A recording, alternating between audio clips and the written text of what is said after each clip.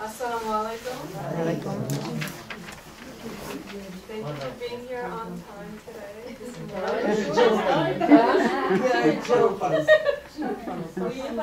You're making fun of us.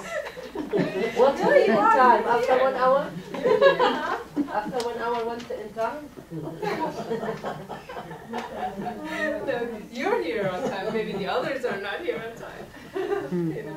Okay, so let me go ahead and share with you a bit of what it is that, that we're going to cover today. So, um, you know, all of this entire weekend, we've been discussing mental health, we've been discussing wellness, well-being, inside, well-being on the outside. We're talking about wellness for our health, for our body, for our mind, for our spirit. In the past conferences, we've been talking about collective well-being, you know, political well-being, justice, you know, all of that is connected to holistic wellness. Holistic wellness is such that, you know, we're talking about how do we create a world, how do we create a country, you know, where there's justice and injustice, it's, it's, political wellness, right? You know, our political system is wounded and injured. And it has a pro, it has a, it has a ripple effect in the ways that we experience our individual life. Uh, you know, we talked a lot about with Sister Salma yesterday about stress, right? We talked about how stress influences our physical body. We, towards the end, she touched a little bit on how stress creates stress hormones in our body, right? And those stress hormones uh, impact our brain chemicals, it impacts our hormonal system, which really a lot of times, and, and, and, we know research after research, we have seen how much stress has a havoc on the body, on the physical body. Okay? And so what we're talking about today is how some of the things that you can do at the physical level, at the nutritional level, to, to um, have, you know, somewhat you know, help the situation so that the stress that we experience in our daily life, you know, doesn't have as much negative impact. You know, so we can bring in the nutrition and give the body some extra resource, some extra oomph, so we can start to mitigate, you know, or lessen the impact that the stress has on our body. Okay? And so that's what that's what this conversation is going to focus on. It's going to focus on well, what are some things that we can do on a nutritional level with our food, with the choices that we do have, because we're eating, right? We're all eating throughout the day. That's a choice that we're making. That is something that is up to you. You have that power to choose what you're going to eat and what you're not going to eat, right? What you're going to shop when you go to the grocery store and what you're not going to shop for. When you go to the restaurant, what you're going to order and what you're not going to order. You choose that. You that is up to you, okay? Um, and at least at this point, the government's not trying to, you know, tell us not to eat something or not. You know? So in the past, which is why they've had a big revamp of our entire food recommendations from the government. They went from the food pyramid to what? The plate. Do you guys know that? Uh, they, they revamped, the government revamped our entire nutritional guideline because all the guideline that has been there, you know, up until really just a couple years ago was really misguided. It was very contradicting and conflicting. And it was half the truth. You know, so the government felt a need to go ahead and, and really saw the impact that the guidelines that, you know, nationally, uh, the impact that it was having on our population, which is what, where we are today. A lot of us are dealing with conditions like high blood pressure, high cholesterol, diabetes, lung cancer, right, Alzheimer's, lifestyle. These, these are some of the examples of the national health epidemic that we are experiencing today and have been for the past couple of decades, and it's on the rise. You know, we didn't, the, the amount of the chronic illness and disease that we see today, it didn't exist, even like 50 years ago. It has, in, it has been exponentially increasing, okay, over the last 50 decades. Uh, I mean, last five decades, five decades. you know, uh, really from the 40s on, uh, with the advent of industrialized commercial food that we see, we've seen a rise in conditions like high blood pressure, high cholesterol, cancer, diabetes, right? Um, MS, which is multiple sclerosis. I mean, there's like so many. These are all conditions that can actually be prevented, okay? And if you have it, it can actually be reversed. Okay, we know it. The research has shown um, it speaks for itself. When we start to integrate healing foods into our body, okay, and so that's what we're going to talk about today. Is what are the healing foods, you know, and what makes a food have healing components. Okay, I believe you know Allah Subhanahu wa Taala He uh, has given everything that we need on this planet to keep ourselves really healthy, you know, and thank you and to help us, and to help us, uh, if we do contract something, to help us to heal that. You know, if we go to the right sources, if we go to the right foods, okay. And but what's going on is that we see that there's been so much misinformation out there. You know, especially if you're going on the internet to find health information, it's very contradicting. You're going to find information that's from one side of the spectrum to the other, and they contradict each other. It's like one thing, you know, one information is saying, you know, eat more of this, and the other information is saying, no, eat less of this. The same thing, you know. Eat, have more milk? No, have, don't have milk, right? Or have more, what's another one? Have more soy? Or no, don't have more soy, right? There's so much contradicting information out there. So my job today is for you, uh, for, for me to help you basically bust out of the contradicting information that's out there and go to the basics of what Allah subhanahu wa ta'ala has actually given us and just get very clear. Okay? And really, what I'm gonna, uh, what my goal is to really help you to transform your relationship with food forever. Okay? And so that you get so clear that you don't have to get caught up with the, all the contradicting and the conflicting information on nutrition that is out there. Okay, how does that sound? Oh, great. Yes. Yes. yes. yes. Okay, so I want to hear from you guys. What are some things health-wise that you have been trying to address in your life, in your, you know, in your day-to-day life that you've been struggling with? If you want to share, you're welcome to. You don't have to. So anybody want to share about that? Anything around your health and you know your physical health that you've been wanting to address or that you've been struggling with? Lose weight. Okay, yeah, we see that a lot. Borderline, borderline cholesterol. Borderline. We'll talk about that today too. What else? Anyone else? Anything else? Anything else? And with stiff joints. Stiff joints, yes, we'll talk about that as well. Like uh, joint health, joint conditions, aches and pains, High blood pressure. high blood pressure. A lot of us are dealing with that. you know. Aching, heel, And- and- heels, okay, joint. Heel, like as in the back, okay, pressure. um, And toilets. Thyroid. Thyroid. Thyroid. Is that what it's called? thyroid? Thyroid, okay. Yes, thyroid, uh, which is connected to the hormonal system, which is connected to metabolism and all of that. We'll talk about that a little bit as well. What else? Memory. Memory, Oh, brain that's a function. big one. Huge, we'll talk about that, yes. right. Sleeping, right, rest, the nervous system, which is very much connected to our ability, um, um, ability to relax and have those relaxing hormones, you know, be present in our body, which is connected to, again, thyroid, which is connected to weight, you know, it, all of it is connected. Um, okay, so let's go ahead and, let's go ahead and move it, move forward. So again, thank you for taking the time to be here. Stayed up too late, aren't you? All right, um, let's go ahead and move forward. So, I'm really excited to be having this conversation with you guys. I know the past couple of con- conferences we've had been talking about all kinds of other political issues, but those are, um, those are the, that's the kind of work I used to do before I started doing this work. What happened is when I started community organizing, I saw a lot of organizers just pouring out their health, you know, impacted, being impacted in a negative way, and then not being able to really organize it effectively because they were getting sick so often, you know, or didn't have enough energy. And you know, organizing takes a lot of, you know, takes a lot of our mind. It takes a lot of our attention. It takes a lot of our time and our energy to do this work, know, run around, visit our loved one in prison, and then also work at home, and then take care of our family. It just takes so much energy, and um, and it requires us to be on our best health, you know.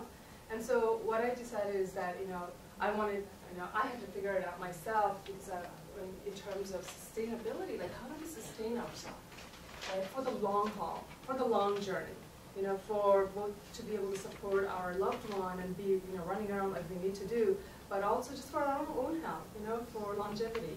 And how do we live long term in a way that's quality and we don't have to be the grips of the high blood pressure, the cholesterol, and then like have our health kind of draw, you know, like pull us back, right? A lot of us kind of struggle with our health and our body is holding us back when we know it could be so much better, right? We know it could be so much better. And so my goal is to show you like what direction to go into in terms of your food and your nutrition so that you can start to turn the clock back around and, and bring energy, bring sustainability into your body, into your day-to-day life. Okay, so let's go ahead into the next slide. next. Okay, so just as a disclaimer, I'm not a medical physician, you know. So I'm not here to show you how to treat any disease or not. I would still recommend that you go to your physician for that. Nor do I want to you dispense any medical advice.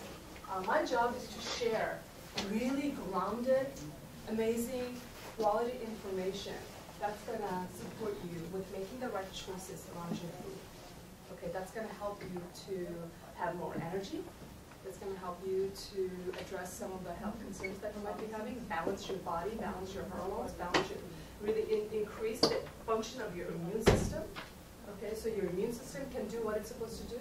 You know, support your thyroid, so your thyroid can do what it's supposed to do, because Allah going to do is make this body in a brilliant way, right? It knows what to do already. We just have to give it what it needs and not give it what it doesn't need, right? Next. Okay, so so this is really what I do on my day-to-day -day job. Um, so I'm a certified cooking instructor and nutrition consultant, certified by the Physicians Committee for Responsible Medicine. This is a nonprofit organization. Actually, they're based out of DC. They're a national organization, and they are looking at it's a it's an organization, nonprofit that's um, a combination of doctors, nurse practitioners, dietitians, other even uh, lay people like us um, who are really looking at how do we reverse conditions, prevent conditions like diabetes, heart disease, um, the chronic illness and disease that is so rampant in our society right now. Um, and then also certified by the American Association of Nurse Practitioners who are certifying practitioners that do not use pharmaceuticals, uh, that do not want to use pharmaceuticals. You know, like, you know, I believe that food can be medicine if we use it that way. Okay, but a lot of times what we're doing food is, uh, what we're doing with food is that we're using it for all kinds of other purposes.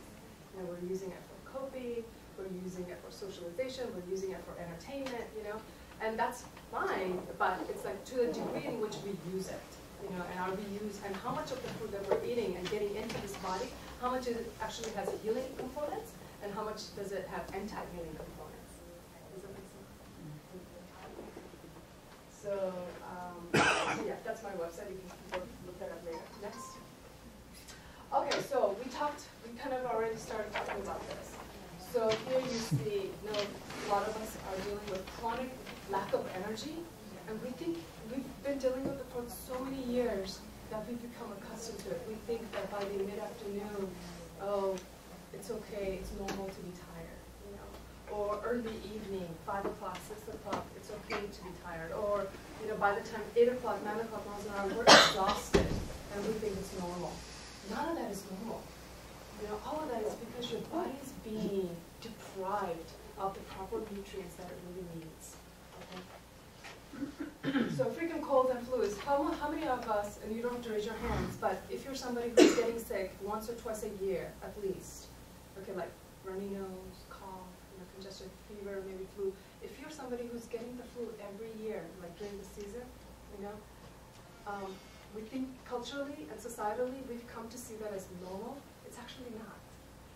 it happens because our immune system is functioning at a low level, and, it, and it's chronic. Our immune system is chronically at a low level, and therefore we get sick on an annual basis or biannually. I have not gotten sick in over eight, nine years. MashaAllah. Mm. Right? And, and, and that's because my immune system knows how to, you know, I, I give it so much, and I've, I've never taken a flu shot. Okay? Um, that's because it's just about equipping your immune system with what it needs so that it can do its job. It will protect you. Allah you because you're getting what Allah has meant for your body. Period. You know? It's when we deviate from what we're supposed to give this body that we start to deviate, really deviate from what Allah means for this body, right? So if you're dealing with asthma, you know, allergies, seasonal, even seasonal allergies, that's actually one of my big things. I got, I, I, I healed myself of seasonal allergies just by doing some nutritional things, which we can talk a little bit later about. Congestion, mucus, and uh, headaches, chronic. And these are, I'm talking chronic, okay? I'm not talking just once in a while, like every some years. or- Chronic. Um, so chronically, if you're dealing with these like on a regular basis, you know, then there's something going on. That's your body telling you something's off. You know, we're not supposed to deal with any of this chronically. None of these. Even in in our you know, older age, older age, even when you're 60s and 70s, really we're not supposed to. I've I've worked with clients. I've seen I've seen and heard so many testimonies and you probably have too. You know, uh, men and women in their 70s, 80s who don't deal with this because they've been clean and healthy most of their life. You know, of course, the chronic stuff, right? High cholesterol, high blood pressure. Um, these are all inflama- you know, inflammatory conditions, and so we'll talk a lot more about that. Let's go to the next slide. Actually, can we go back? Can we go back? Anything else you guys want to add to this? Yes. I think the thing that I notice more, most about people uh, talking to me about the problems is, is inability to sleep at night. And I Yeah, think lack of lack of sleep. sleep Mhm. is also connected somehow with immune problems and all of that sort of stuff, because I think that's when the body kind of re- refreshes itself for all of those things that are up there. Yes, absolutely. Mhm. Um, so we could say, you know, lack of sleep, or really like sleep issues. There's so many, even within the category of sleep, there's all kinds of other. It's right, it's a whole pyramid It's a of, whole- yeah, right. it kind of reflects every one of those things. Right, yeah. Lack of sleep will contribute to, or lack of adequate rest. Okay, lack of adequate rest will contribute to uh, immune system de- deficiency or di- dysfunction. You know, especially if it's chronic. So let's go to the next one.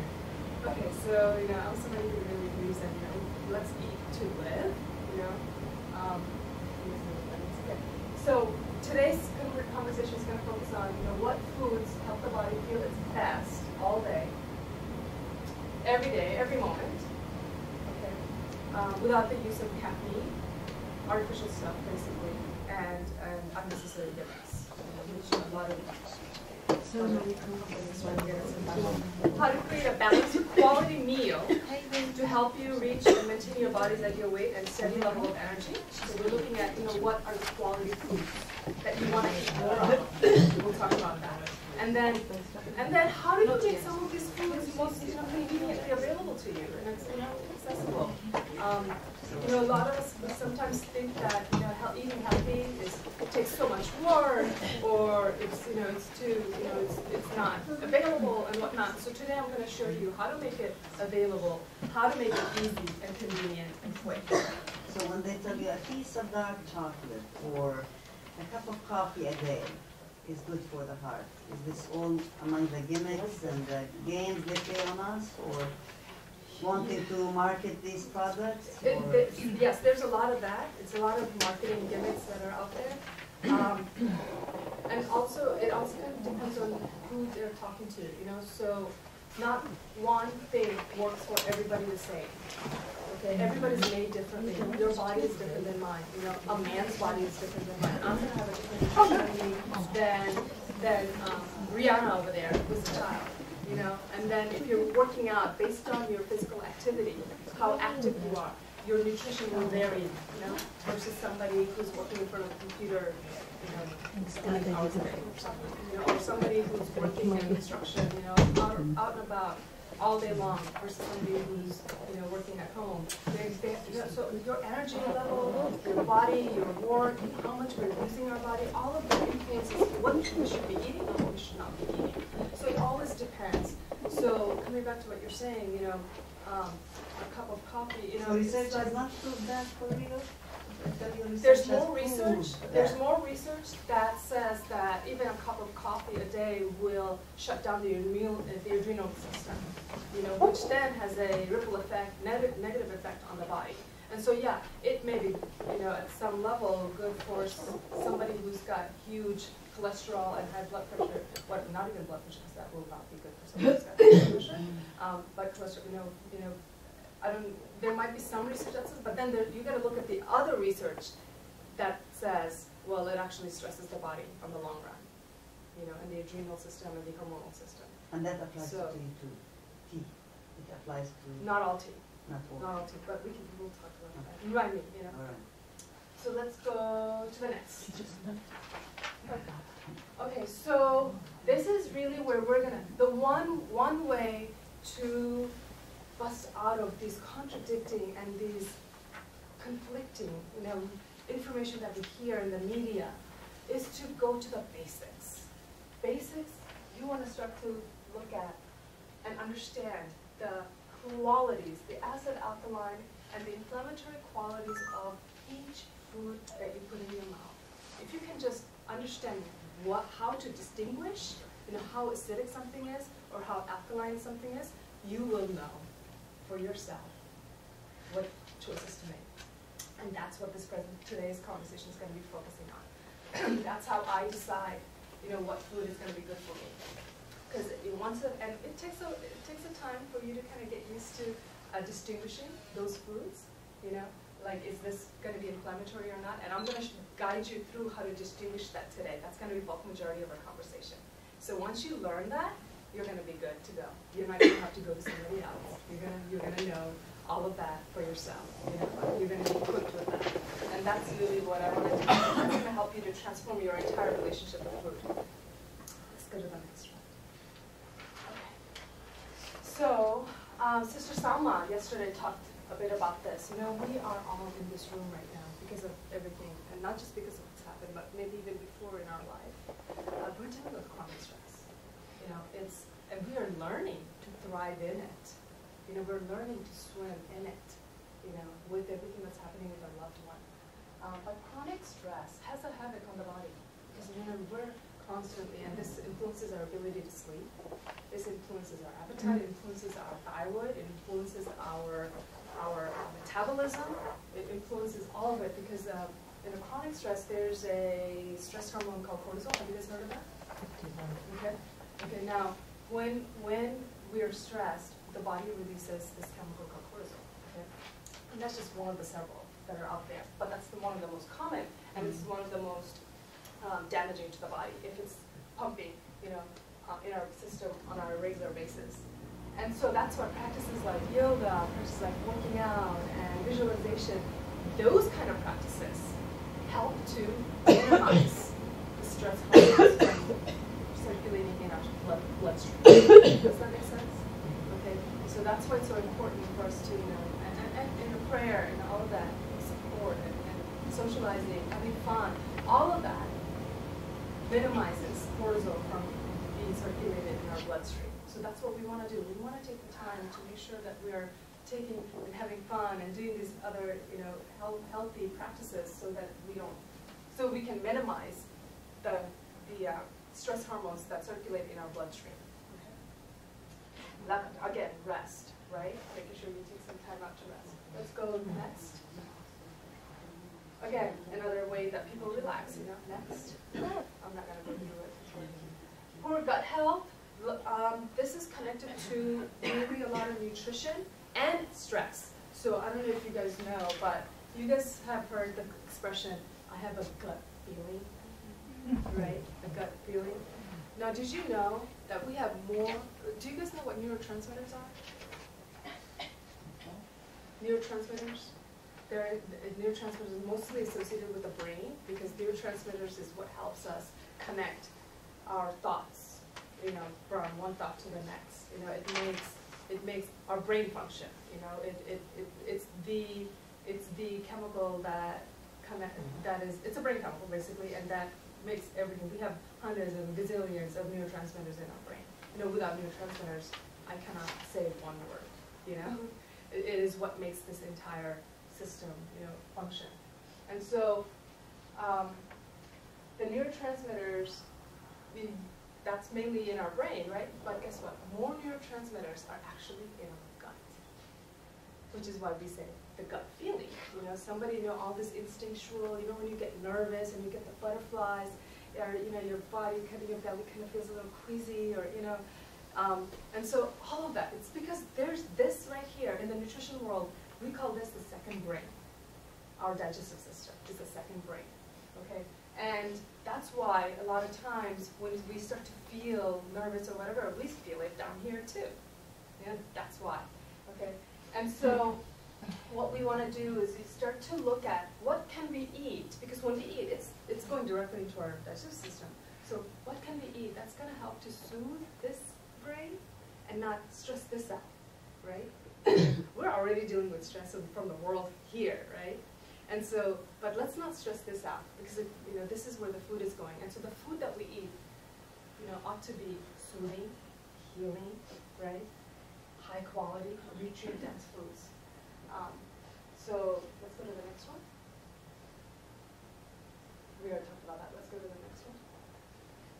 Um, again, you know, for lack of sleep. Now, we already, maybe you guys have learned this already, that sleep, when we sleep, you know, we have different stages in our sleep.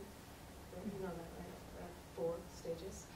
And that healing happens at not all the stages. There's a particular stage, if you get to the, the deep level, the, the third and the fourth stage, that's where the physical healing actually starts to happen because at that stage, the brain starts to release particular chemicals. Okay, unless you get to that stage, your brain won't release those chemicals. So a lot of times, if you're having disruption in your sleep, if you're having, if you're waking up throughout the night, or you're, you're just not getting enough sleep because you have to wake up early. You went to sleep late, you gotta wake up early. You know, some of us are, you know, going to sleep two o'clock, you know, two o'clock in the morning, waking up at five to prayer. You know, if you're, if that's happening on a regular basis, guess what? We're depriving the body of the necessary stages where the healing can happen. Mm-hmm. Okay, and in that stage, the third and the fourth stage, is where the releasing of our growth hormones happen, our relaxation hormones happen.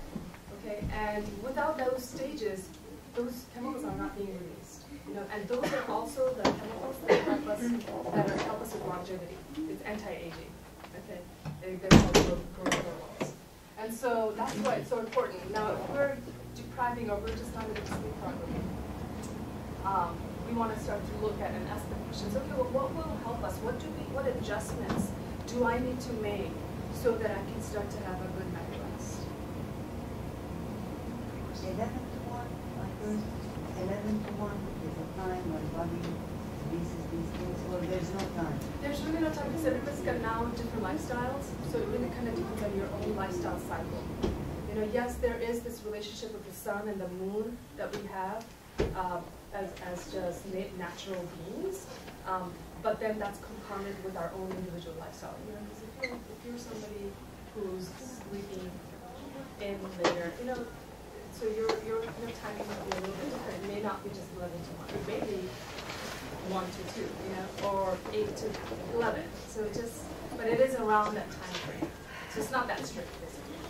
Um, let's go. So here we go. So my work with you today is going to focus on this aspect.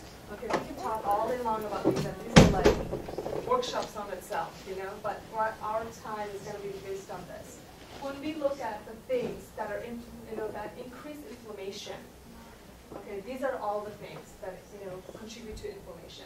But my, my talk today and this conversation today is going to focus on the food, the nutrition, and the diet aspects of that it contributes to inflammation. So we're looking at high sugary food, high processed foods, carbs, high industrial fat, that means the refined bottled oils? Um, or shortenings or butter or, I mean, what's that, um, Crisco kind of stuff, you know, all of that is uh, considered industrial fat.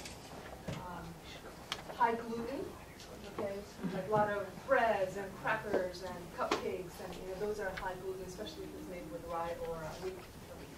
High meat, okay, low fiber foods. So it's a pretty accurate description of the modern diet. You know, you can see this is a lot of what we're eating nowadays. And a lot of what we're eating nowadays are inflammatory. As, as a community, as a population, as a country, most of our food nowadays are disposed, and guess what? No wonder we're dealing with, guess what? A nation full of people that are dealing with inflammatory conditions, like we've been talking about, high blood pressure, high cholesterol, cancer, diabetes, you know? Because we're eating, you know, most of us are eating this way, we're gonna get those things. You know, it just, that's what, you know, that's what happens next. So let's look at what do we mean by inflammation, okay? Here's, here's the scientific definition. So I'll let you read that um, a little bit and then highlight.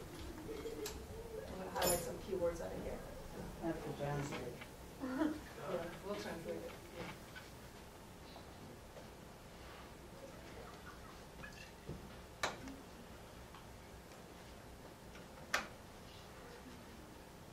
Okay, ready? So, pathologic. Pathologic means it's just not what's supposed to happen, right? It's not supposed to happen. Um, a pathologic process consisting of a dynamic composite historic, uh, cytologic. What do you mean by that? Anybody a biology major here? And histologically, what's that? Histologically means chronic. Chronic. Yeah. So they could have said it's not scientific enough. but there is a particular way that they define that and the processes that they're referring to. But cy- cytologic means cellular, basically. Cellular, you know, cells. Cellular infl- in- inflammation. Um, maybe, okay, so let's look at abnormal stimulation, meaning it's not supposed to happen. That kind of stimulation in the cell is just not supposed to happen. Okay, but it's happening, okay? Let's go back. So basically, anything, here's the translation, anything that disrupts cellular integrity. Okay, we're, we, you know, Alzheimer created this body, created the cells, the DNA, and everything, right? Created in a particular way. When a baby comes into this world, a baby is in usually in a great health. Right? Unless we're, unless we're dealing with specific um, mechanical, some sort of a disability, but other than that, you know, we're, we're created with everything being in, in integrity, you know? What happens is that once we start to live life, you know, even as babies and infants, a lot of us are, a lot of us are giving our babies inflammatory foods, you know, and so the baby starts to grow up in a condition and mm. have infections and have asthma or allergies or whatnot, right? Like all of that really are not supposed to happen. Okay, so but once we start to give the body inflammatory things, it's going to have inflammatory symptoms. Okay, so that's what's going on. Um, so anything that disrupts cellular integrity and the process of the cellular. Okay, so let's go back. Next. You got it. Okay. So almost all the foods that we eat after being digested, absorbed, and metabolized in our body release either an acidic or an alkaline base in our blood. And has anybody heard of this acid alkaline kind of relationship? Right? All right. Um, there's all kinds of information out there, but I'm gonna make it very simple for you guys. What it is is that if you can think about, um, you know when we drive a car and you put oil in the car and then you're driving, driving, driving. Okay, and the car is giving up exhaust, right? It's leaving behind the ash, kind of, if you will. Or say you have a piece of paper and you burn it, and it leaves behind an ash. Okay, the burning is the metabol. Meta if you can think about it, it's an ana- analogy. The burning is is using the paper as a fuel, right? and then it leaves behind an ash. Um, so anything that we eat, anything that we eat, the body uses it, it metabolizes it, and the body too kind of leaves behind a little bit of ash, okay? And that ash gets in our, it is in our system already, and it, but then it gets circulated in our blood. Okay, now, there are foods that we are consuming on a regular basis. Anything that we put inside this mouth, okay? And if anything that goes down our esophagus, goes into our stomach, and gets into our intestines, and on, everything, okay, we eat, also lives behind an ash. But certain foods have more ash than other foods. Do you want more ash or less ash? Okay. Okay, so, and it's kind of like carbon print, right?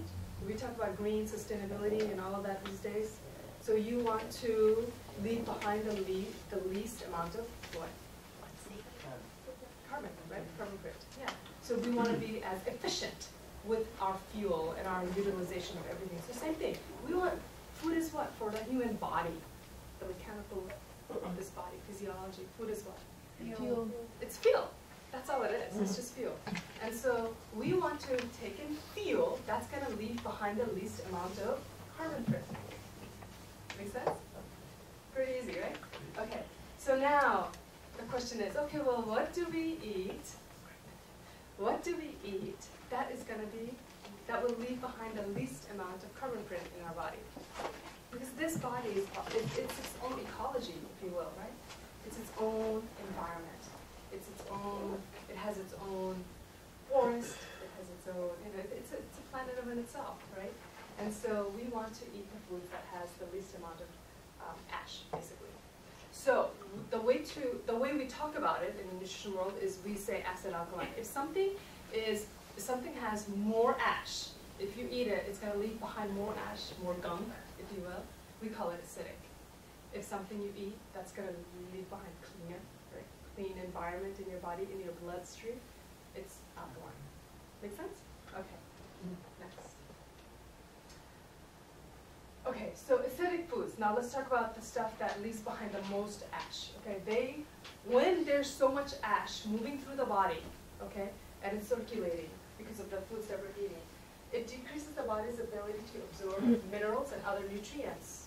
Okay, basically, if you can think about it, on the planet, if you we've used so much inefficient fuel and it's you know leaving behind so much ash and smoke and smog, what's going on? Huh? It's cloudy, it's foggy, breathing makes it hard, like uh, it contributes to all kinds of stuff, right? Um, it disrupts the process of how it's really supposed to be in this environment, this beautiful nature, right? Same thing. So if you've clogged up, if we've clogged up our system with all this ash, it's not gonna, the body's not, it's gonna have traffic, it's gonna have competition. Uh, it's not gonna be able to absorb the nutrients. You see that? Because it's, it's being clogged up with all the ash, right? Decrease the body's energy production in the cells. There's so much science that goes into this. This right here is another whole 30 minute conversation. But uh, to make it simple, basically, our cells, uh, we have how many cells in the body? Billions and gazillions, right? trillions, right? And there's different cells for different functions, right? We have brain cells, we have skin cells, we have digestive cells, we have, you know, just bone cells. And every, every cell is designed to carry out a particular function, right? Right? Brain cells carry out brain function, right? Skin cells, you know, digestive cells, you know, they all do different things. And the cells are already designed. Do you have to tell your cell what to do? Automatically. Huh? It does it. It knows it, right? This body's already created. It does it. And so we don't have to tell it to do what it needs to do. It's the smallest, it is the smallest unit of intelligence in the body. Right? It knows what it's supposed to do. You don't have to tell it, right? Our, our, we, our mind is intelligent in its own way, but the cell is too, whether we realize, you know, whether we want to, you know, recognize it or not. And so the cell, what it does is it, it has so much going on in the cells. We learned this in elementary school, middle school, high school, right, in our biology class. Cells have receptor cells, they have, they have walls and layers, and then they're constantly communicating with one another. They are um, also like they get taken, overtaken, or you know, and so there's good cells and there's bad cells. Like we, we, we learn all of that, but it decreases the function productivity because there's just clogged up with ash. Cells are also designed to heal themselves, right? And so it will repair. You know, it will. re- I mean, it will um, decrease its ability to repair itself and to detoxify heavy metals and stuff like that, which we are breathing in.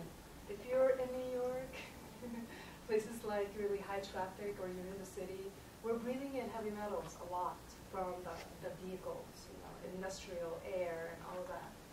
Um, and sometimes it's even in our foods, you know, if we're using aluminum foil or if we're using aluminum pot, um, pots and pans, it's getting into our food.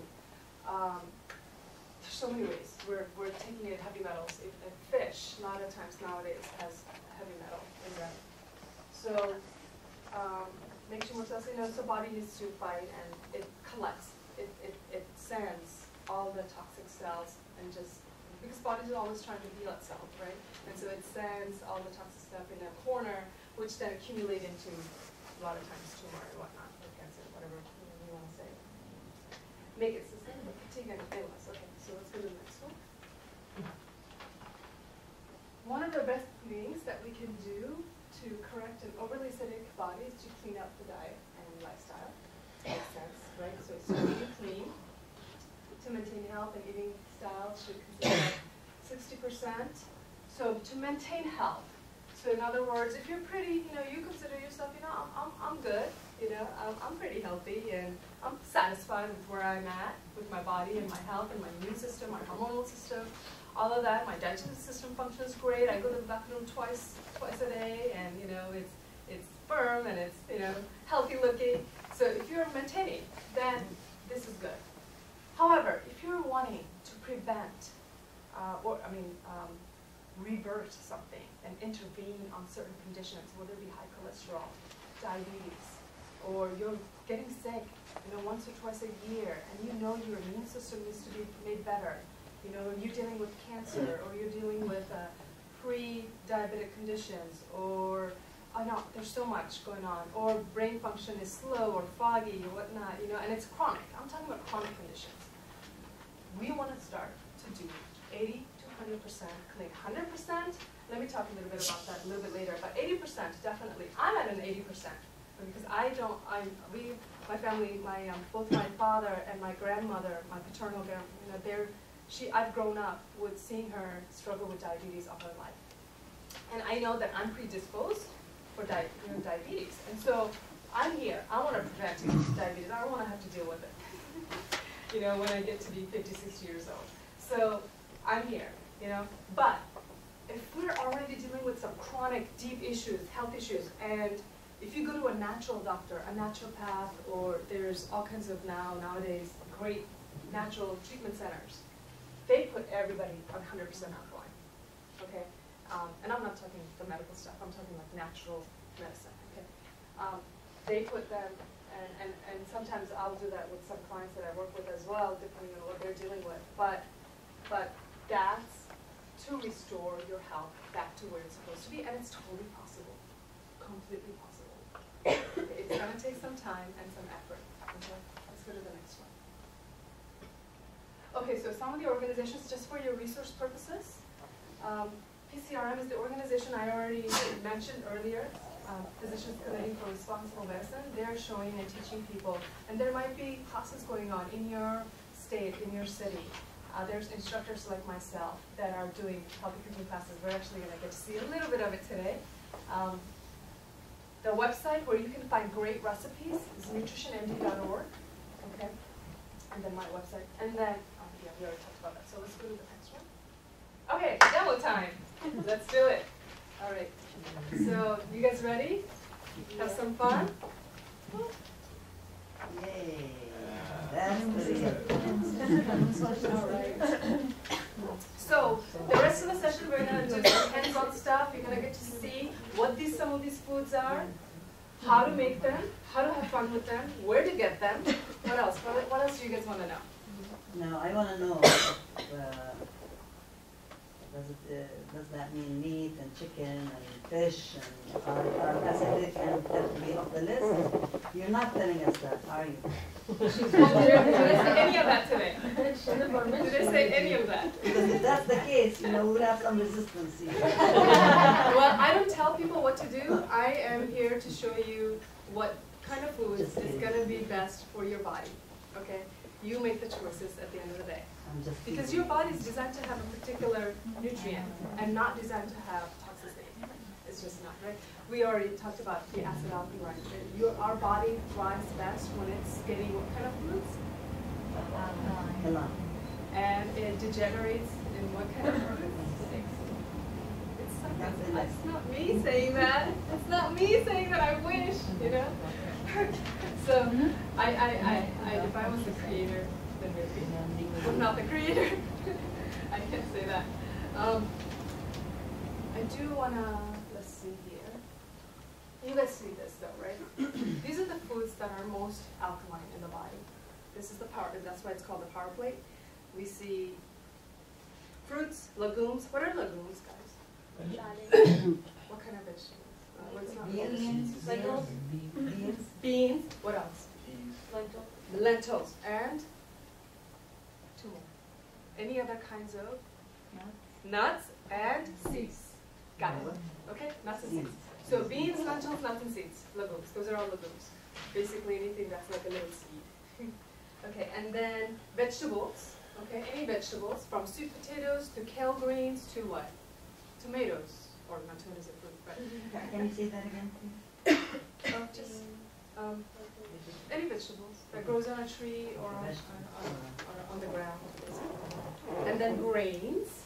So there are some, there's some, there's, you know, nowadays we have wheat, which has been highly, um, well, the, you know, the way, the farming practices with growing wheat is so denatured and has been re- removed from natural farming practices. Um, that's in line with the earth and the nature and the ecology of the earth. And so a lot of times certain grains, wheat is definitely one of them, um, certain grains are not producing the, the, every, all the components of that grain that's supposed to be in integrity, it's not, not, it's not there as much. It's actually creating all these other kinds of processes that really, for the human body, for the human consumption, can be hard for the body, because we're also nature, we're part of nature, we're an extension of nature, right? Mm-hmm. And so the human body recognizes it as foreign. Okay, and so if we are consuming something that the human body is recognizing as foreign, guess what? Our body is designed to do, right? Mm-hmm. It's designed to go after something that's foreign and react and respond and try to get rid of it. Mm-hmm. And in that process of trying to get rid of something that the body recognizes as foreign, it creates these inflammatory chemicals. And again, basically what that means is that food then becomes inflammatory to the human body. Even though that food itself, the way that Allah subhanahu wa ta'ala has made it is not inflammatory. Do you see what I mean? But because of our commercial, industrial farming practices, it has become inflammatory. Does that make sense? And that applies to corn too, right? Heard about corn mhm, too. mhm. Yeah, definitely corn. Um, so anything that's been genetically modified. So goodbye to breads. Is there No, any- there's all kinds of other breads that you can still make that still taste awesome and actually more nutrient dense and more healthy for the body Good. than the wheat bread, you know? There's, so there's no like organic wheat bread? Even if it's organic, the, the, so organic refers to a certain class of farming practices. It doesn't always refer to the seed itself. So the, the, there's a whole industry around organic, you know, it's, that's another whole workshop, another, another two-hour conversation on that. But, uh, um, the, so, so we want it to be organic and we also want it to be genetically modified, free, free of, you know, GMOs, basically. Does that make sense? Which are the good grains then? Great question. Let's focus. Okay, so here, um, I'll hold it up. So if you guys can't see, just let me know and I'll hold it up light. Or maybe I'll pass it out. Don't open these. Okay, don't open these.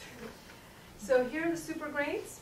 You have my favorite ones to work with, and I, I actually recommend if you're gonna, if you haven't worked with this, start here. Okay, start with quinoa and start with buckwheat. just start there. Those are easier to work with. Mm. They taste great. How do you spell quinoa? Quinoa. Q- I'll pass this around so you'll see it. Oh, Okay. The round, little round one is quinoa, and the little red one is quinoa too, because there's three different kinds that we usually get from store. And then the little heart-shaped one, that's my favorite grain actually. It's real fluffy and it's real hearty and it's just buttery and it's mm, you know. And it's called buckwheat. Okay. Um, and then this one has millet too. The millet, millet is pretty good too. Um, millet has a little bit more of a rougher texture. Um, more like couscous almost. Okay. It's like couscous, right? Yeah. So just you know, look at it. You're gonna see. I mean, it's got amazing nutrients. You know, brown rice and rice, right, white rice first of all is okay, but it doesn't have much fiber. It's all starch. Mm-hmm. You know, we want to give our body a lot of fiber. You know, fiber will help to extract fat and lipid cells from our body, toxicity from our body. It will help to you know cleanse out your system. It will help to pull out the ash that we talked about. It helps to pull that out. So anything that has fiber, guess what? All of this food has high fiber. Okay, so we want to eat more of that. Okay, so this stuff has a lot of fiber. If you look at here, anything that has uh, two or more grams of fiber, it's a complete fiber. So here, you can pass this out. Okay, so next, some of you guys have asked me. I want to introduce. You know, some of you guys have asked me about this thing. It's like a green drink that I drink on a regular basis every day. And there nowadays, if you go to a health food store near you, or even Kroger, uh, or even your local grocery store, Kroger's a southern thing, I think. um, I think they have like Publix, Kroger, Harris Teeter. I don't know. I've, I've never been to a Harris Teeter, so Oh, yeah. yeah. We will. Uh, does it have a health food section? I, I think so. Nowadays, the thing is that more and more of our supermarkets, our, our regular supermarkets, are starting to carry some of these things. They know. There's because people are starting to demand it. Because people are sick and tired of being sick and tired, right? And these are the kind of foods that are helping people to get better. So people, they're asking of these foods from their regular supermarkets, and they're starting to carry them. So you want to start to see, or go to your supermarket and have them, request it. They will start to carry it the, you know, we're seeing a whole new trend happening in this country because people are really wanting to live healthier, you know? So commercially, we're seeing a new trend. Green powder, you don't have to get this brand, but this is what you want to look for. You want to turn and look at the back, and you want to look and see the list of all these amazing nutrients that it has. Okay, not just five or six. I mean, there should be at least 50 different nutrients that we need in our body. Right now, most of the country is suffering from malnutrition. Even when we're eating voluptuously, you know, breakfast, lunch, and dinner, most of the food that we're eating are these acidic foods. And it's depriving our body of actual nutrients that we really need. And, and we're leaving behind all of this trail, right? And so you want to start to add in like a, start with a teaspoon a day, mix it in with a big glass of water or whatever. and then sip it throughout the day. It will help you to cleanse, it help you to get all those minerals and vitamins that the body needs. So you'll get that really just from having your green powder. Yeah, so they, so how many of us are having coffee every day? Okay, how many of us are having lattes and stuff like that, or um, juices and stuff like that? Just coffee, okay. Um, sugary juices and stuff, and you're buying them, or we're buying a bottle or something, right? Well, let this be your transition. Let this be your substitute. When you start it off, okay, when you start off, start off small, okay? And you mix it in with anything like lemon juice, or like a fresh squeeze of orange, orange in your water, okay? And it will help with the flavor. Now, don't start off with a big scoop if you, if you're not used to it. Like, I can do a big scoop now and I'm fine with it, you know? And I don't even have to add into, um, anything. No, but it- there's always a starting process. So we want to be graceful in our journey as we start to become healthier. So the taste, usually, um, that one hardly tastes like anything. It's just like a little, like a, like you're eating like a little salad, you know, but you're drinking like a little salad, but very mild. They all taste different. You know, I don't, don't start off with this, like an algae strictly, because you'll see some greens, that's just all different algae. Don't start there because that's really strong. you will graduate to that eventually, okay? So probiotics. Okay, so yes, so the class of nutrients that you're looking for in your food, okay, on a daily basis, we want some sort of probiotic that will help us with our immune system. You want enzymes, you want minerals and vitamins and antioxidants. These are the nutrients. Any food that you eat, you wanna ask these questions, hey, does this, does this meal have a lot of enzymes and probiotics and minerals? Is it high nutrient dense foods? When foods are nutrient dense, it leaves behind less ash and actually gives our body the nutrients that it needs. So you wanna also have things like, instance, you talked about. You talked about the thyroid, and we just connected to our hormonal system and our metabolism. The hormonal system, we want things like maca. Has anybody ever heard of maca? Okay, it's a root, It- it's um, indigenous to Latin America, but it comes out, it's a, uh, it's a root, basically, they just grind it up, the root into a powder, and it's a superfood. It's got all these minerals, um, Like a fiber, it potato? passes around. Like a potato? You mix it in with either a s- um, like a smoothie, okay, or you just mix it in with your water, with your green powder, and you shake it up, and you can just drink it throughout the day. It's easy. Sometimes I make a soup and I drop it in my soup and I blend it up. It has a nutty taste, like a real nutty, like a thick nut, you know. Superfood blend. So foods that are really nutrient dense are the foods that you want to have in your body on a regular daily basis. If you're eating food that's not nutrient dense, guess what are the foods that are not nutrient dense? On a regular basis. What are they? Cakes, okay. What else? What are foods that are not nutrient dense that we eat on a regular basis as a society? Sugar. Uh, soda. Soda, pizza, um, bread, crackers, cookies. What else? Wait, what is the question? What are the foods that we're eating as a society that's not nutrient dense on a regular basis? Bagel, Bagel, starch, muffin. Muffins. All the breakfast downstairs except for the fruits and the. There. Those, all those cereals, all those, you know. Cereals sometimes can have great fiber. Yeah, yeah, but those cereals, I don't know about that. Whole grain, whole grain Yeah. cereals are. The ones, the cereals for kids are all like sugar. Right, and- it's all sugar, right? Yeah. If it's sugar, it's acidic, right? You Yeah. talked, you said that earlier. Um, it's low fiber. Yeah. It's really just a bunch of flavor, sugar flavor that we're having. What else? Meat gives us protein, so we'll talk a little bit about that. Um,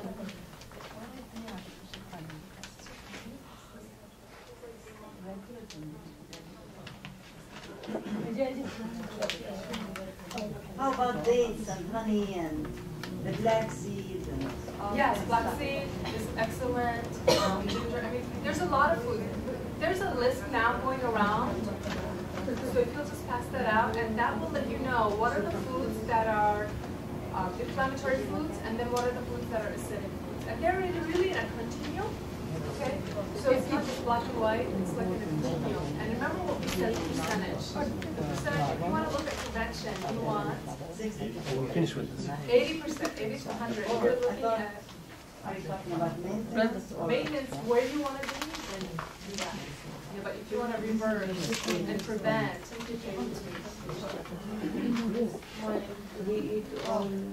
hemp hearts, these are basically seeds, and these are completely um, allowed and legal.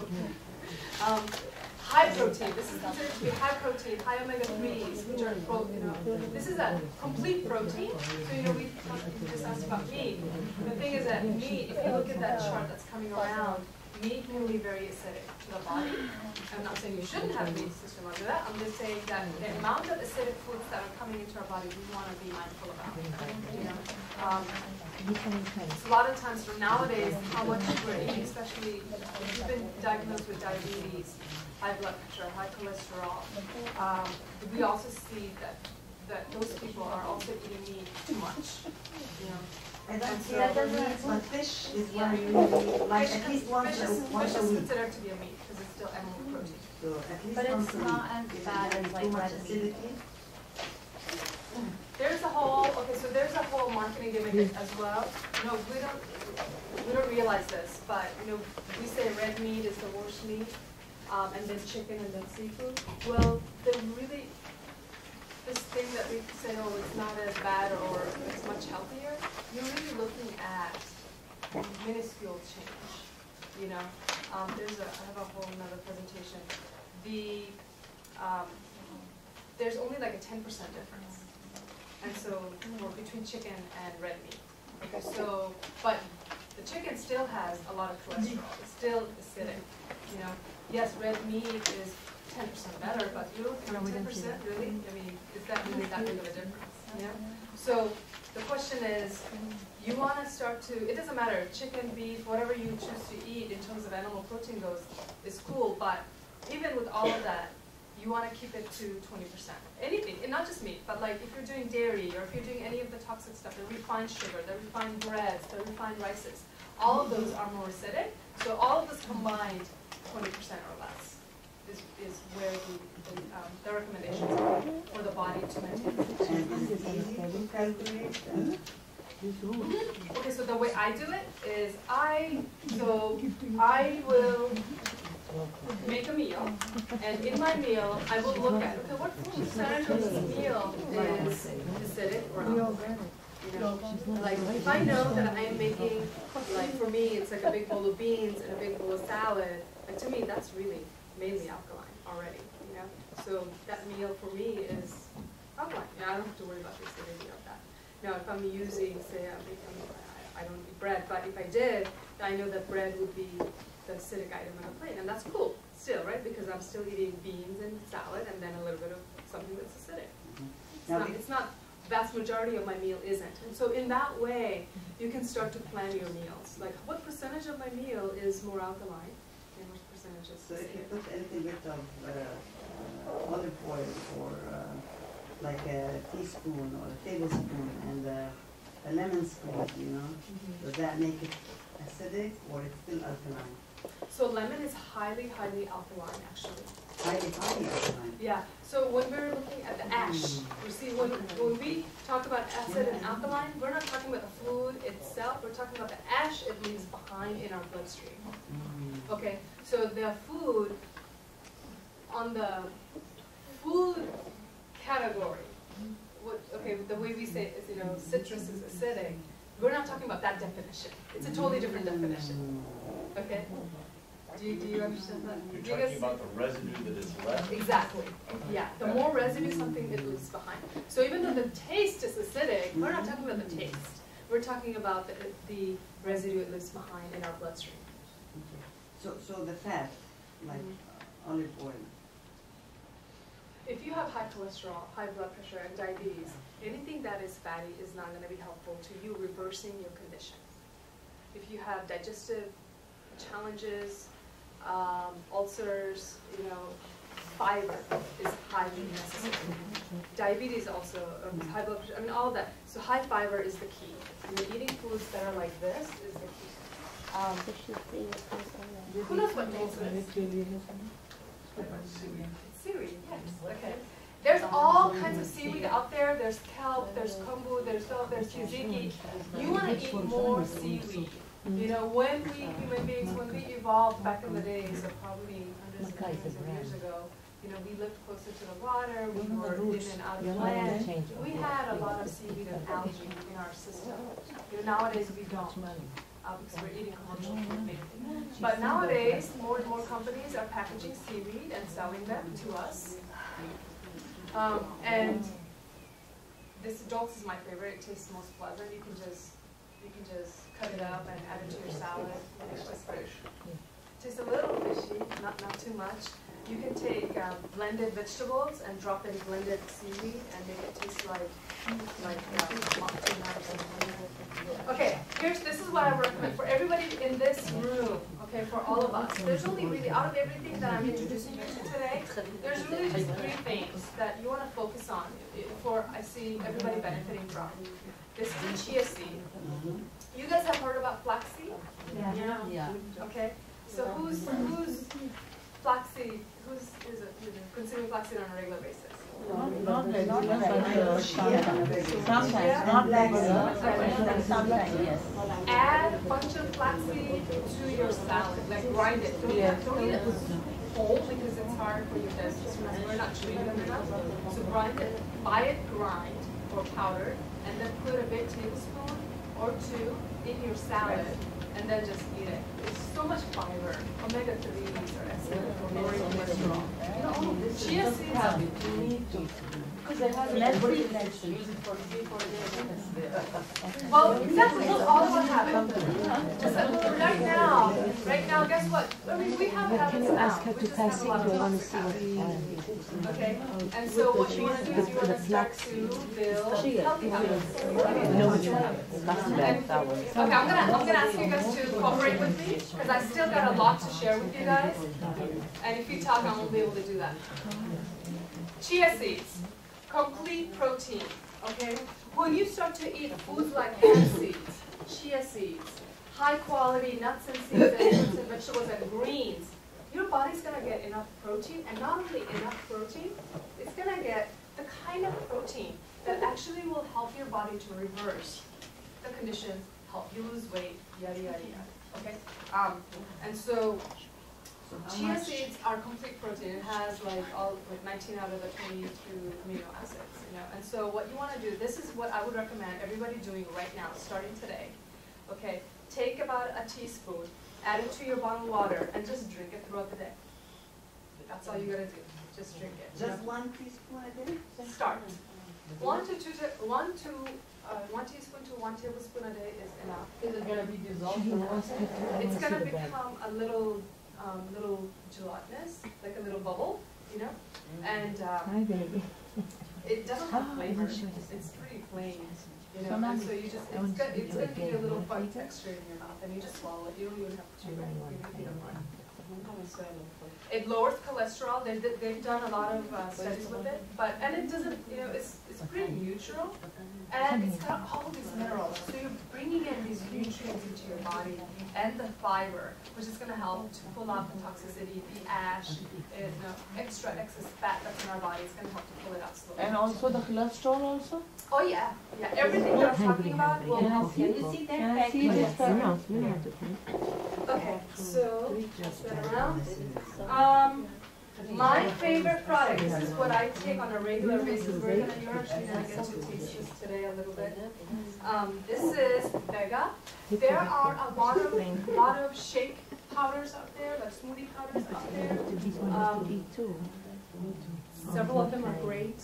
You don't have to get this kind, this is the kind that I recommend to my clients and really it's the one I use. It's the easiest to work with, it tastes good. Um, and the thing is that it's got all these nutrients. It actually meets fifty percent of our daily needs of certain nutrients that we need in the entire day. You know, what happens, guys, when you start, when you wake up in the morning and you start your day and you're eating a low-quality breakfast, right? And then you eat some sort of a lunch, and your body, because you've woken up and you're living your life that day, your body's using energy, right, throughout the day, right? If you've eaten your, if you've eaten a low-quality breakfast, guess what happens? The rest of the day. Where, where is your body getting your nutrients from? Okay, so what, I- what we say is start off with a high-quality, nutrient-dense breakfast. Then your body can start to reap the benefits of those nutrients the rest of the day. Your body, as you live your life on a moment-to-moment basis, your body's using nutrients and energy, right? And it needs certain things. A lot of times what's happening is that we're having low-quality breakfast in the in the, in the morning, and in the middle of the day, we have a dip in our energy. Who's experienced that? A dip in your energy? Or your concentration? Yeah, your concentration, or you just feel, you don't feel your best, right? That's because we're not giving our body quality nutrients in the beginning of the day. But if you start with this, and you start to give your body those nutrients, um, then you will have what you need. So this one also has a lot of probiotics. It has a lot of enzymes. You know, who's taking a probiotic supplement right now? My daughter is. Probiotics Probiotics are great for your digestion. Tell you know, we talked about the environment in our body. Probiotics are necessary. Great. And guess what? 80%, who knows this? Quiz. 80% of your immune system is connected to what? Your gut. Your gut. Who said that? All right. Here, I'm gonna start. Treat. All right. So, So, so not digestive Julia huh? Not That is digestive your system? Yeah, 80% gut. Gut is the digestive. So I said the answer and I didn't get anything. You heard me, right? get one, too. You heard me, right? There you go, No. I want hers, hers. I'm just joking, I'm trying to find. Okay, so you're right. So probiotics, you're gonna hear more and more about this in the, in the next year or so. There's a lot of research that are coming out about probiotics, the importance, the critical importance of probiotics. Especially because we live in a society that's been so highly sanitized, our food are sanitized with, you know, Because if you catch him, whatever, like now he pesticides and stuff like that, and we're eating packaged foods, so we're not getting the earth, the earthy probiotics that for us. We're not Yeah, getting you them. gotta turn it. And so it helps to get supplements like this or the Vega that has probiotics in it. I, on top of this, on top of my green powder, on top of my Vega, I still take a probiotic supplement. That's exclusively probiotic. To keep my immune system. And I believe that's part of the reason why my immune is so high. No, no, no. When I don't get sick. Well, you're why doesn't bring me that chicken and fish and the ham beer? Oh, because those are Oh, acidic. just joking. Those are acidic. Okay, this is the vitamin C. Who is, oh, okay, yeah. Oh, wait, not yet, go ahead. Okay, this is vitamin C. Are, are, are you guys taking vitamin C? Once a Yeah. While. No, we eat, we eat oranges. You don't, that's good, that's good. Because we like the The, natural. the thing about oranges is that I like biryani.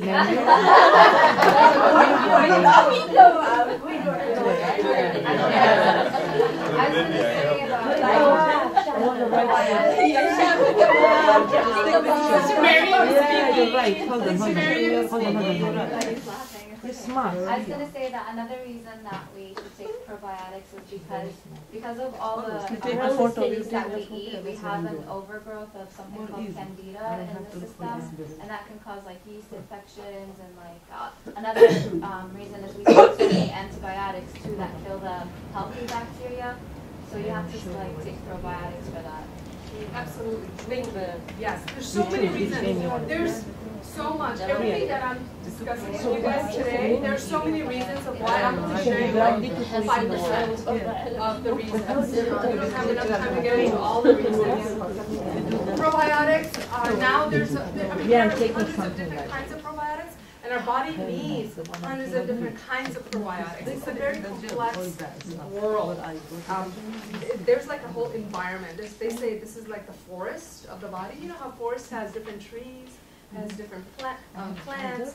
It has you know all these different kinds of vegetation. Well, the flora of our gut also needs a diversity of different you know flora basically you know and the different organisms here and different organisms just like cells different cells do different things different probiotic, different good bacteria does carry out different things in our body. Okay, so that's why, um, that's why you'll see in some of these back of the bottles, it has all these like hundred billion or, or a billion or a million kind of different probiotics. Vitamin C, especially if you're traveling, all of us, you know, I always carry this when I, whenever I travel, especially because when we're traveling, when you're in the plane with hundreds of people, you're being exposed, we're being exposed, and we're, we're breathing in that same air that everybody else is breathing in, and you don't know how many people have what kind of sickness, right?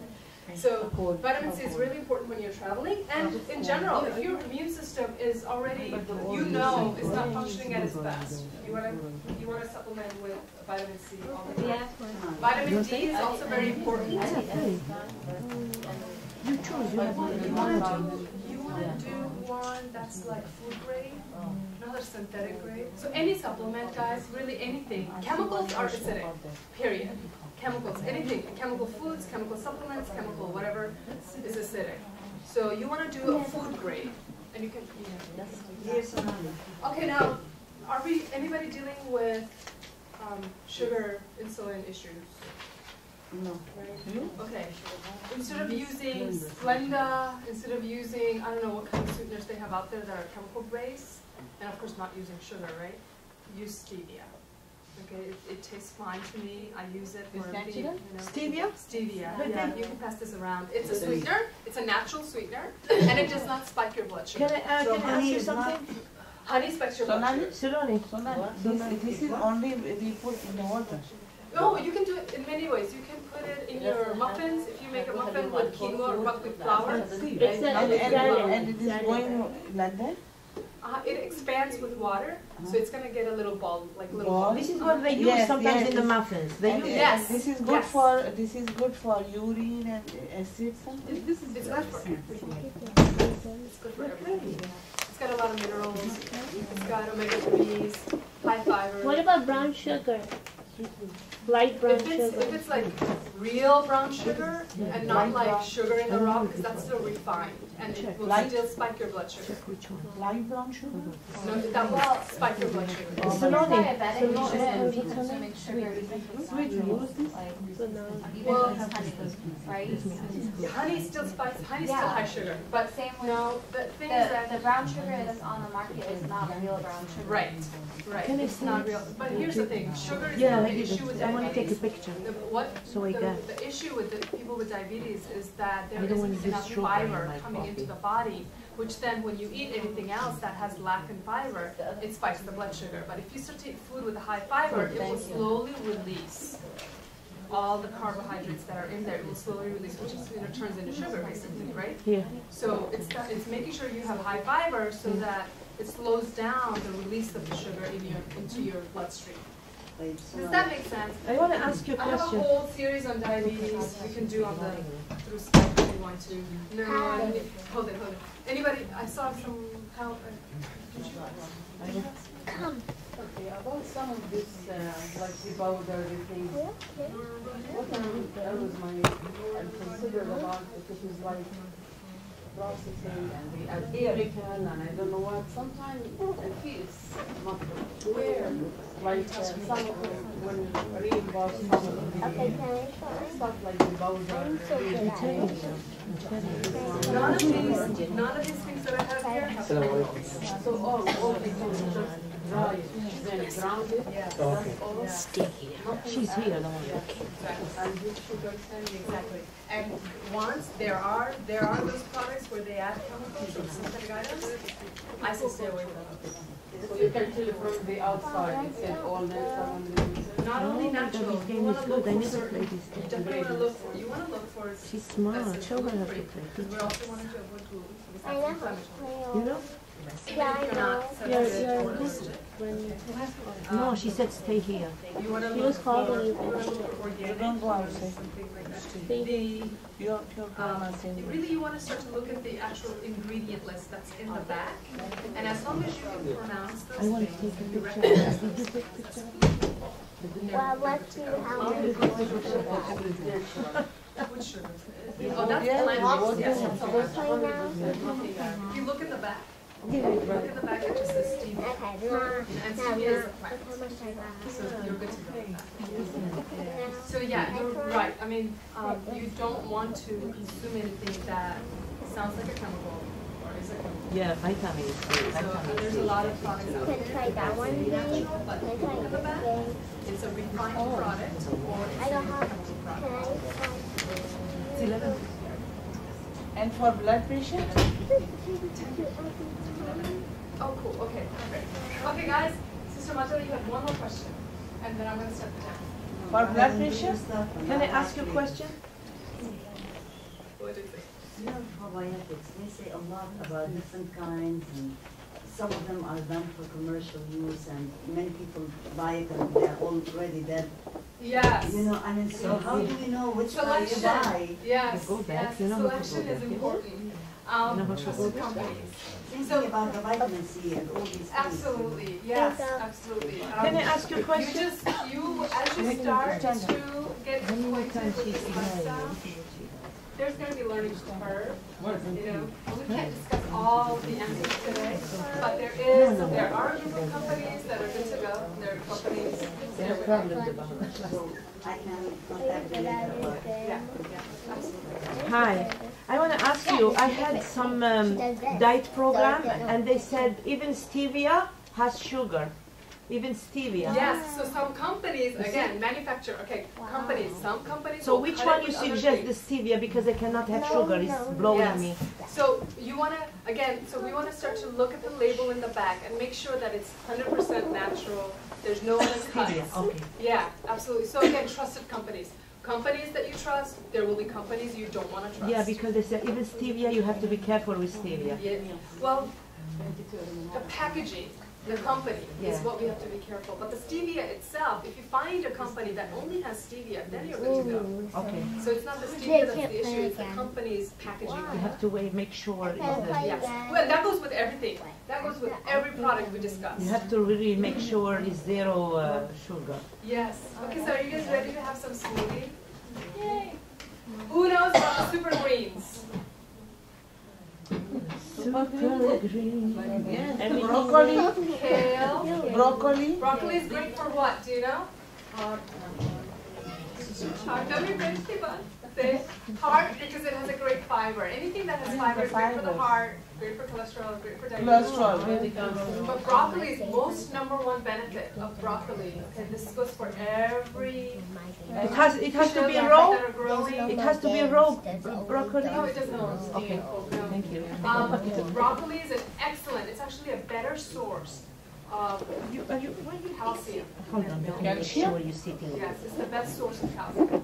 And so women, if we're dealing with bone density, or really anybody dealing with bone density issues, you okay? or mm-hmm. you are a growing child, you know, we want to, broccoli is a great way, and a great food to add in on a regular daily basis. Okay. I said like a serving of broccoli every day. But kale, this is kale, you guys know kale? Have Anybody not worked with kale yet? What did Is this salad or something? It's salad. It looks like a Yes, you could put salad. a salad, you could put it in a smoothie, you could turn it into a dish, casserole, whatever you like. Um, But I mainly did like salad. And I mainly put it in a, um, I want to play that game. All right, guys, so we're gonna go ahead and start our smoothie demo. So what I wanna show you today is going to be not just any smoothie, but how do you make a smoothie that's nutrient dense, power packed? Yogurt. Who's drinking dairy milk on a regular basis? If you're somebody who's drinking dairy milk, cow or, or Greek or whatever they market these days, you, that's acidic to the body. It's okay once in a ah, while, no big deal. I like you that. But if you're somebody who loves milk, That's my favorite. and you drink it every day, like at least a cup every day, your immune system is riding low. If you want to start to take your immune system a little bit higher, you want to switch over to coconut milk, almond milk, hemp milk, hazelnut milk. I mean, the list goes on and on these days because more and more people are starting to move away from dairy because it's so acidic. Okay? But I like the dairy. Oh, me too. Me too. I do. I do coconut milk, and sometimes I do almond milk. Slowly. You know? There's flax milk as well. Um, Almond. almond Almond. milk is fine. And you know, one percent and two percent and like that is good. Um, well, this is already plant-based, so it's already low fat. No, no, the, the milk, the dairy milk, the one percent. It doesn't matter. It's all acidic. Same? It's all How acidic. Um, cheese, anything that's dairy is acidic. Cheese also? Body. If you look in your chart, does everybody have a little chart? Your acid alkaline? You can start to look in there. and we can tell you. Okay, so how do you? Who knows? Okay. What's this last this last is spinach, How do you make a smoothie power pack? powder pack. Power pack smoothie. Power pack. Spinach. Vegetables with some seeds. Okay, raise your hand. Raise your hand. I want to hear from somebody who I hasn't think now spoken. you have chickens games here. Somebody new. Play now. How do you make a smoothie power pack? Why not? Yeah, hold on. Is it downloading? So usually we put what in a smoothie? We usually put some fruit, mainly, and milk. What's for you, right? And that's what, that's all we usually put. Which one? Wait, wait. This is fruit? What is it? What did you put in the blender? Oh, frozen peaches. Oh. Um, so in order to make this smoothie power pack, what we will do is in your smoothie, when you start to make your smoothies from now on, always add a huge handful of greens. Because greens are what? Greens are what? They're full of minerals, they're full of fiber. What else? What else? Ow. Okay. You want to do nut milk? Like coconut milk or what else? Almond. Almonds, okay. This almond? What are these? What is this? Uh-huh. What is this? What do you put? Please say what you're putting in there. Yeah, frozen, I just. Frozen what? Coconut milk. Uh, pineapple, okay. Yeah, I did pineapple, a little bit of peaches. You don't have to, you don't have to use this recipe. any fruit? Any, any fruit that you like. Don't use something you don't like. What about banana? Did you find it? No, no, let's What else download could you do? But this is strawberry, banana. Strawberry. There you go. I say stick with two kinds of fruit. You know, like a cucumber and peach and pineapple will go great. You know, but a celery and a pineapple will go great. But celery and peach and pineapple, or I mean a banana, right? A banana and a celery will not do good. So, but as you start to work with these, you'll figure it out for yourself. Um, so give yourself that grace period. Okay, so this is my Vega powder, which I'm adding in here. This has, you know, What's that, the bigger one? mm-hmm, mm-hmm. Three. Yeah, I added three huge tablespoons. Baking powder. Yeah. Um, what else should I add in here for you guys today? Um, I would normally add some flaxseed, but I didn't bring any. So you can't add them? Or, or chia? Huh? You can't add chia or, or. Yeah. I, I can't. I want to return those. Oh. okay, maybe, maybe I'll add some.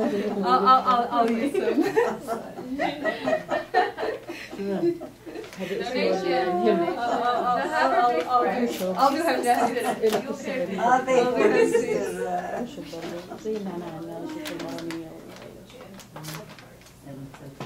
Okay, so here's the thing. Now, guys, if you are doing your coffee or your juices and your muffins, you're buying those anyways, right? You're buying and you're spending money on acidic things that are what?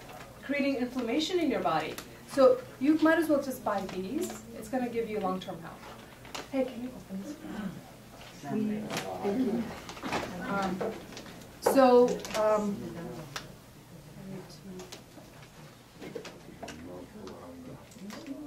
and this is okay. So again, nowadays there's yogurt that are made with coconut milk, almond milk. So you can just see um, what all they have in there. So this one is made with almond milk. So I'm going to add some of that because it's going to give us a little bit of creamy, a little bit more creamy. Where do you find these? At the health food store. Mm. But even, like I said, some of the regular they're starting to carry them. So, mm. so you just have to kind of ask your local store. You can drop in an apple if you want it, you know. Apple and celery taste great together, you know. But I, I keep it pretty simple, you know, so this way you don't have to get all overwhelmed by it. Some sort of a green. Kale greens, spinach greens do great on smoothies. Thank you. Thank you. Okay, again, so I'm going to drop in a few tablespoons. All right, and then we have our milk. Some ice would be good, but do we have... Yeah, the ice machine is not working. No, it's not working. Oh, no, it's fish not even. Okay, so that's it, okay? Easy? Greens, some fruit, some nut milk. Huh? Very easy, right? And then flaxseed. Ideally, you would add a couple of tablespoons of flaxseed. What about like quinoa or chia or something? Yes, that you could do as well. I'm not going to do it because I want to return them. um, and then green powder, you could also do that. You can drop in a teaspoon of your vitamin C powder as well. You know, maca, you can drop that in like a, t- a teaspoon. Start with a teaspoon because it's got a strong nutty flavor. Um, thi- this right here, drop in these powders. I mean, powders are excellent for your smoothies. Drop all, of it in, and you'll get it in for your breakfast You added or some for your water? snack. You added some water? I added the yes. Yeah, I, I may add some water if it needs it. And can I get a volunteer? A volunteer? You wanna come? Well, actually, let's. let's yeah. Okay, so ready, guys? Let's make this work.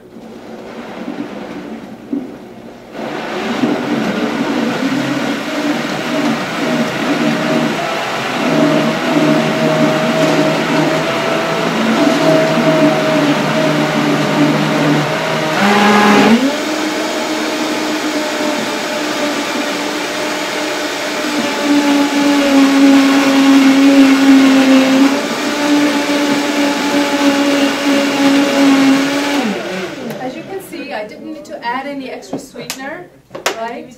But the fruits sweetener. If you're somebody who is dealing with diabetes, then what you can do is leave off, um, use less fruit basically. Okay, you don't have to avoid fruit completely because fruit still has fiber, and you're adding the veggies that have fiber, so it will help you to release the sweet that's in your smoothie a lot slower into your bloodstream, and that's the key. Is how you know if we're consuming things like muffins, you know that's just all refined flour. It's gonna it's gonna break down in our blood sugar a lot faster. It's gonna spike in. Okay, so you're gonna give us a little taste and tell us. I haven't even tasted. it. I should probably taste it first. Let me let me taste it first.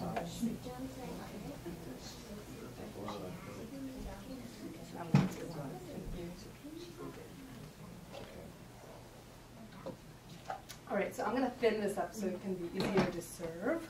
On. Do all of you guys want a little sample? Who doesn't want a sample?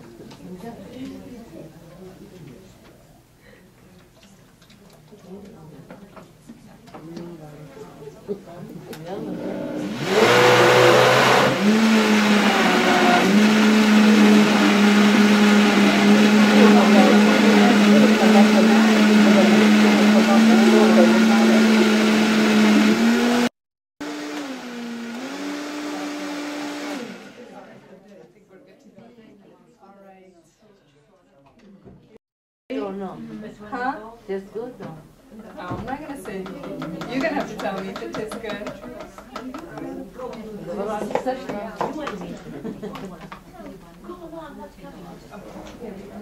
You tell him. You tell him. How does it taste? That's biryani. Smile, smile. Just a smile. Don't up. Bismillah. Yeah? okay. Okay. So here's the thing. Um, how do we do this? Let's get. Can, can we get a couple more volunteers?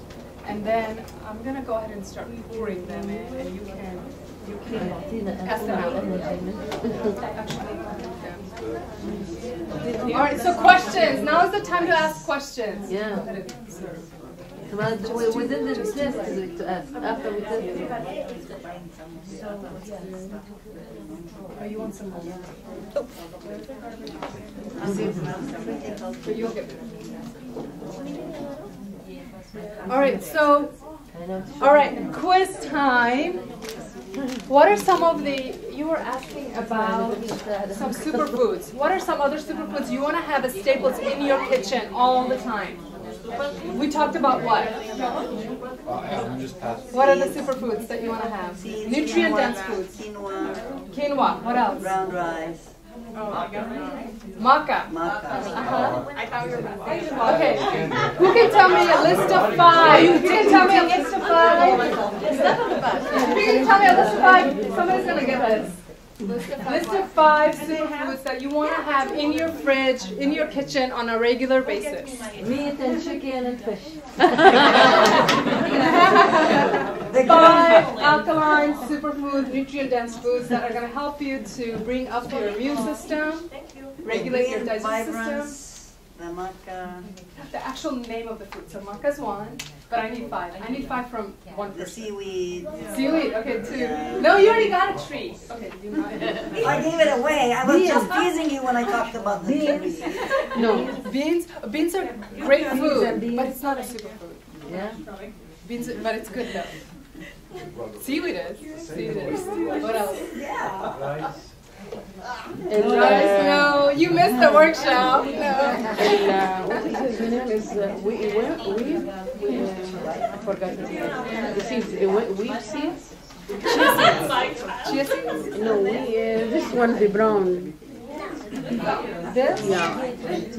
No, no. Buckwheat. Buckwheat. Yeah. Yes. yes.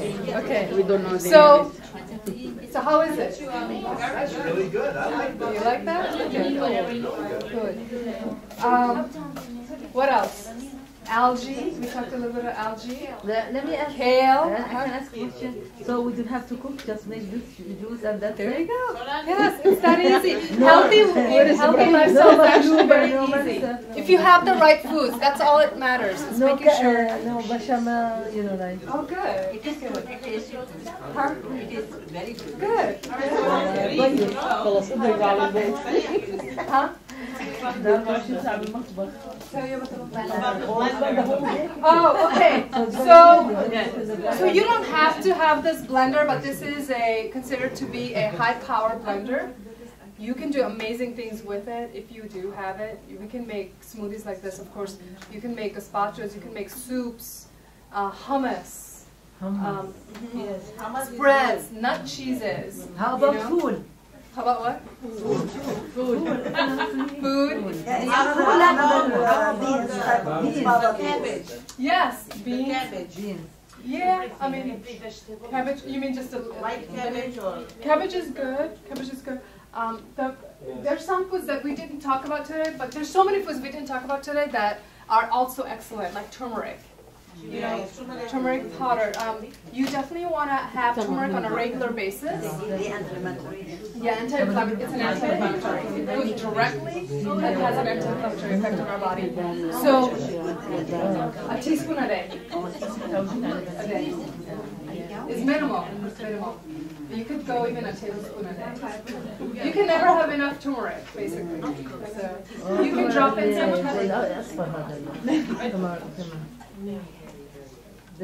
Um, what else? Oh, we can talk about what else? Oh, yes, great. Okay, so we got a question on acid reflux, heartburn. Okay, a lot of that is literally, the body is crying out, it's saying the body is too acidic. Okay, and that's why we're getting the acid coming up. You know, what's going on is that. I think okay, the body, that's body's way of saying the body is too acidic. You know, I mean, all these conditions we talked about, these are all acidic inflammatory conditions. But the, the, what's going on is that there is two reasons why we have acid reflux. Either the, the necessary digestive acids that we need in our body is either too low, okay, and so when we start to eat acidic foods, it takes over, and it, it just doesn't get processed, and so it stays right there in the esophagus and stomach area, and so when we lay down, or when you're living out throughout your day, your body's just regurgitating it, it doesn't want to process it. Okay, and so one of the ways to get rid of that is first stopping the acidic foods, you know, or minimizing them, and then starting to eat more alkaline. Thank you. you know, and you're going to start to see you have less and less acid reflux. I know that. Yeah, but yeah, it's. Yeah, I know, and we don't like it. But like, yeah, great. Okay, so guys, I want to thank you. You guys have been wonderful. Who, who what was, oh. what did you enjoy learning most? So we have to to take every decision throw outside, go cooking, and bring all this stuff. Slowly, slowly, yes. Yes, I mean, I mean, if you, it depends on you, you know, where is your goal? I know. Right? We have so, so, so we have more More more.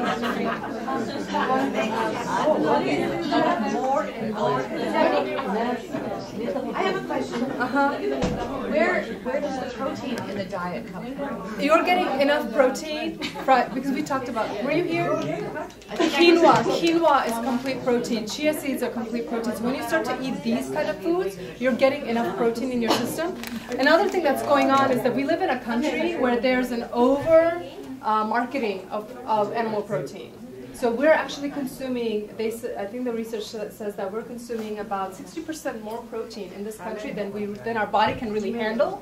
And it's spilling over to all of these other chronic conditions that we experience, especially like diabetes, high blood pressure, and cancer. Okay, the, these conditions are all connected to overabundance of acidic protein coming into our body. And so um, there's this whole misunderstanding, the over-marketing of that we need, you know, this much protein. We really don't. The body can't actually thrive at its best with so much pro- animal protein. know. So you're getting enough, and you're getting a high-quality source of protein by eating this one. That that smoothie that you have in your hand has great protein. For that little bit amount, it probably has about four grams of protein. So we're gonna move on to the next vegetables, any, any food? Yeah. So guys, thank you so much, brothers and sisters. It's been lovely. You know, like a cucumber and peach and pineapple will go great. You know, but a celery and a pineapple will go great. But celery and peach and pineapple, or I mean a banana, right? A banana and a celery will not do good. So, but.